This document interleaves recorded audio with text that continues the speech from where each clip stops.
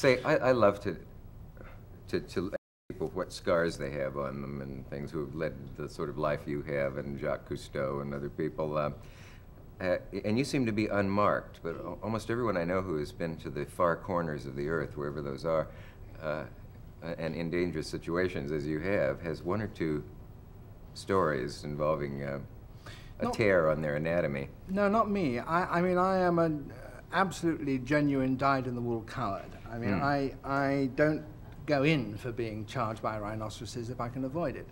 Um, and indeed, really, that I'm just being boastful. I'm not being modest, you see, because if you if you're a good enough field naturalist, you should know how close you can get to that elephant before it'll charge. You should know whether it will do a dummy charge or whether it will not do a dummy charge. Uh, now, some of my friends who make films about natural history actually like being charged by elephant. I mean, they really do. Especially if people see it later on film. Well, not necessarily, uh, but they that may be so. But they even they actually think it's a bit of a thrill. oh, And, and I um, don't think that.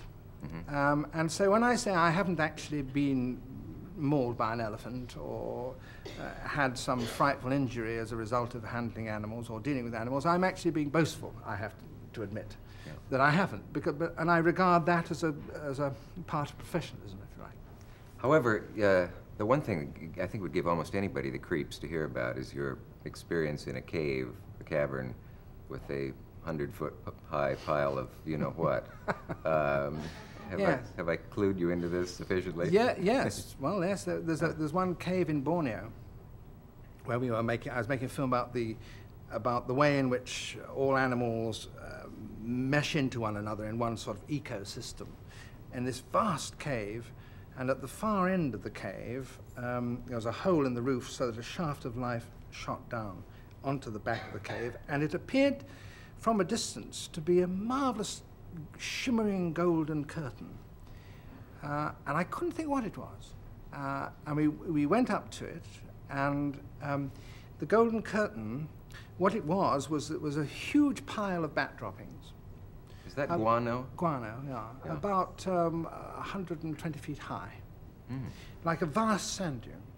And the, the shimmer and the gold came because the entire thing was covered by a moving sheet of cockroaches, which were chewing their way through the bat droppings. Now, the bat droppings themselves aren't enormously pleasant. And, to put it mildly, they are ammoniacal. I mean, the stench was really something awful. And then these, these uh, cockroaches, and on the cockroaches, there were little black beetles, undertaker beetles, which were busy eating the dead cockroaches when they were died. And all around the side, there were spiders trying to catch the cockroaches. So it was a very good example of what I was talking about, see, an ecosystem. So we slowly trudge our way up to the top of this um, bat dropping pile, and then I think the estimate was a million and a quarter. A million and a quarter bats that were on the top then started taking off. And because it was day, they weren't going to go outside, so they started milling round the, the roof of this, uh, of this cavern. A million and a quarter bats, all going around like a great whirlpool. And the heat from their bodies was really very great. I mean, Borneo is pretty hot anyway, uh, um, so it got pretty hot. And the rustle of their, of their wings was really quite deafening. And I had to do um, a, a piece to camera at the top.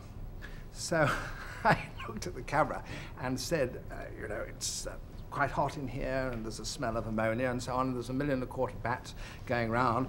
And a lot of people might think, you know, that there's this old wives' tale that bats get caught in your hair and it's all very frightening and so on. But I said they have this wonderful system of sonar where they can actually tell where they are and avoid collisions. So, in fact, I said, there is no danger whatsoever of these bats colliding with me, even though they're a million and a quarter. And the director said, Great, cut. And as he said that, a bat went boing straight in my face. and they missed that on film? They missed it. Oh, what a shame. it. It sounds like a setup for Yeah. John Cleese or something. Yeah, you can die of bat bite, of course. So, uh, not many years ago, they thought that bats didn't carry rabies, and then they found out. oh, no, that I've, I've worked with those, with those Yeah. vampires, yes. And they carry rabies all right. Yeah, yeah. A ranger was killed in Utah by bats out in this. this Yeah. kind- But that's only, Um, that's only, one, only one species of bat, an awful lot of bats. There are a lot of bats. Yeah. yeah. yeah. That, that's comforting for a lot of people to know. I wonder why people are f- fear certain animals and not others. There's almost a universal fear of snakes. Uh, Yes. Can that be explained in sexual terms or any th- There are people who theory that satisfies you? Uh, There, there, there are a lot of people who do, Yeah. uh, who uh, the, the snake fear. I think, Mm-hmm. I personally think that um, what is most frightening about animals is, come to that, what I find most frightening about people. Um, and that is total unpredictability. I mean, I've often wondered why I was frightened of people or nervous of, of my boss, or, or not nervous of. I had a boss who actually I was really very frightened of. Um, and um, I discovered, I decided that the reason it was that he was totally unpredictable. You couldn't tell when he went in whether he was going to bite your head off or offer you a drink. Uh, nor could you, and it was entirely his mood, it wasn't what you were bringing, you see. And I, so I was very nervous about him. Now, I feel the same way about animals. Um, what, if we are accustomed to knowing how two-legged things and four-legged things move. When it comes to snakes, they move in a totally different way. You don't know which way they're going to go. And the same with spiders. When you, when you find a very big, hairy spider, I mean, a lot of people say, well, it's hairy legs, and it's all very sexual and so on. But I think what frightens me about spiders, uh, I mean big spiders, is that I don't know which way they're going to jump what they're going to do? and what they're going to do. Yeah.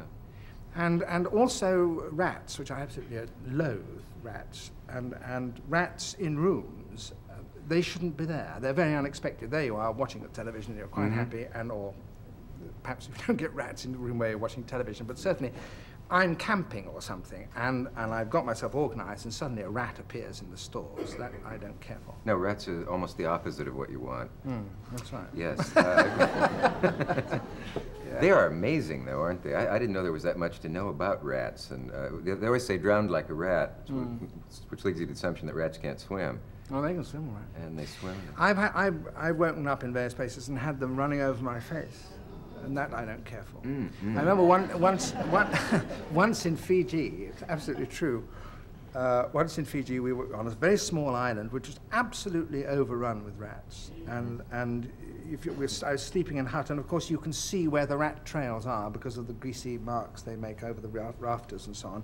And I carefully put myself down where I thought there were least chance of the rats running over me. But they were running over me after, you know, you could hear them, and then you felt them on your feet, and then you felt, so I can't be bothered with this. That's- and I I got up and I, I thought I'll have to find somewhere, and I found actually the church. And the church on this island was uh, a roof on pillars, wooden pillars, and a coral sand floor. Mm. So, and there's nothing on there for rats. And so I, I lay down in between the aisles, was lying like this, and went to sleep, thank goodness, at the end.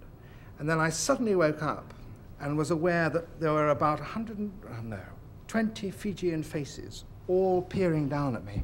And I thought, this is it. you know, this is the mo-" and in fact, Human course- faces. Human faces. Yeah. And in fact, of course, I'd forgotten that tomorrow was a Sunday and that I was in the middle of the church and they were wanting to get on with the service. But I thought perhaps I was reached the end of my time. I thought you were going to say you'd gone into one of those Indian temples devoted to rats where they Oh, that's feed awful. them and That's awful.